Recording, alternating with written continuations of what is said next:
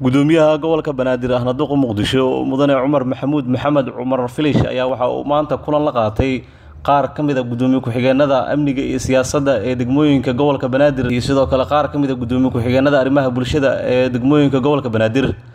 Kulankan oo la qaatay mas'uuliyiintan ayaa waxa ay kaga wada hadleen doorka ay leeyihiin ku-xigeenada ee ku aadan amniga iyo siyaasadda ee degmooyinka gobolka banaadir sidoo kale kulanka ayaa waxaa si qoto dheer looga hadlay in muhiimad gaar la siiyo nadaafadda gobolka banaadir oo xilliyada qaar ay dhacdo in laamiyada iyo suuqyada la soo dhigo qashin tiro badan. Gudoomiyaha gobolka banaadir ahna duqa muqdisho mudane cumar maxamuud maxamed cumar filish ayaa ugu horeyn waxa uu ka hadlay amniga degmooyinka gobolka banaadir iyadoo xilliyada qaar ee degmooyinka gobolka banaadir ay ka dhacaan falal amni darro.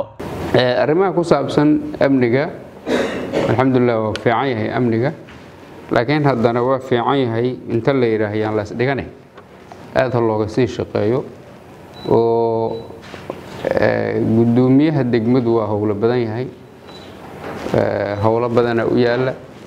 Sababta loo qeybiyey shaqadiinana waxaa loola jeedaa in howl walba ay noqoto howl looga hooseeyo. Cidda uga hooseysa oo ay sii wado ayaa loola jeedaa. Sidaas darteed cidda amniga qaabishan waxaa laga rabaa inayan isdhigan oo ayan dhihin amnigii waa okay waa noo fiican yahay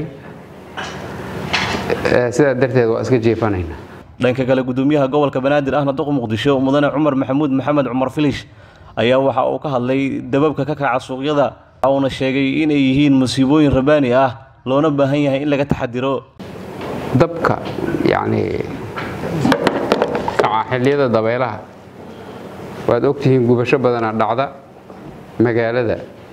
Hadda habeen saddexaad waxaa gubtay suuqa madiino oo gubasho weyn ay ka dhacday.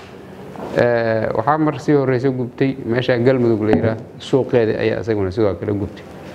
Gubashada guryuhuna tiraba ma leh maalinba intaasoo guri ayaa gubata gubashadaanu maxay ka timaadaa waa su'aal taagan. Ayadana kulle xalkeeda waa gaari doonaa laakiin dhibaatada hadda taagan ayay ka mid tahay. Marka wixii gurigaaga gubaya oo hantidaada iyo naftaada baabi'inaya waa amni daro marka haddii uu yahay